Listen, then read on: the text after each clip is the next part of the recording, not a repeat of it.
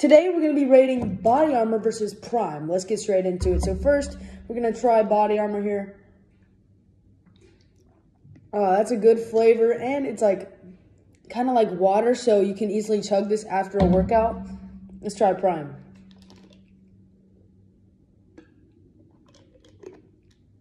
Wow, that is really sweet.